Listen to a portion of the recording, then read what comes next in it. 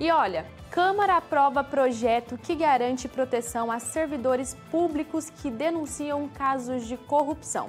Esta notícia é lá de Paranaíba e nós vamos com ele, Alex Santos.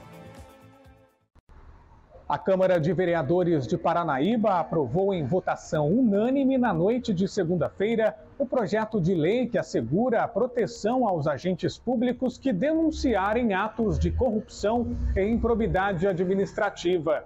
A autoria do projeto é dos vereadores Fabiano Age, Sargento Benites e Robson Rezende. Entre as medidas de segurança para a proteção ao agente público destacadas no projeto estão a preservação do nome, qualificação, imagem e demais informações que possam identificar o agente público colaborador. Também a disponibilização de um canal direto e simplificado para que possa ser feita a denúncia garantindo o sigilo, além da não responsabilização penal ou administrativa em virtude de colaboração com informação à prática de crimes, improbidade ou infrações administrativas, com ressalva a eventual responsabilidade por participação. As denúncias deverão ser encaminhadas para o Ministério Público Estadual ou Federal após análise por órgão de controle interno.